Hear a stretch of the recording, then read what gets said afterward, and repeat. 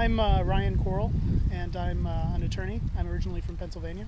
I think the changes were probably pretty well underway um, when we started to move in here. I mean, this this is a great neighborhood. There's a lot of different people here, very diverse, all kinds of different folks, um, pretty much from everywhere. It's very it's a great place to live, really. On the one hand, there are a lot more businesses and things here than there used to be. Um, the new grocery store just reopened, and it's it's pretty nice. Although I've I've seen some of the rents on some of the places that they have there in the in those new developments, and frankly, they're more than my mortgage. So, yeah, they're they're going up.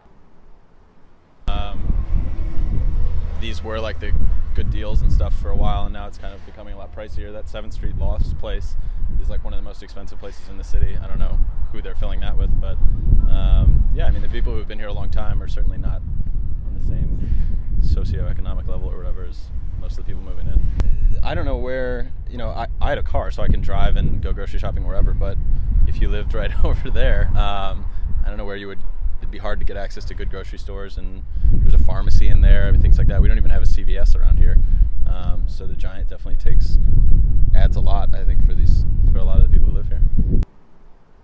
It's definitely a rent increase since the you know you know it's this gentrification in the Shaw neighborhood in the last probably been in the last 10 15 years now. I mean every but you know that's everything is fluctuating. You know the prices, the market, the real estate market is going up You see the change in the neighborhood. Definitely, a lot of people got a lot of people.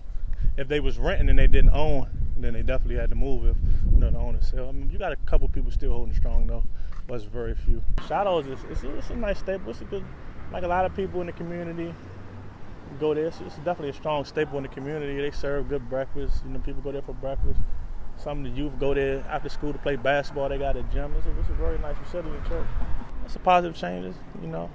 I mean, I can't say it's negative because if people didn't own, then you know, I mean, it's can't say it's their fault. But I wouldn't say it's a, a negative. I definitely say it's a positive change, a change for the better.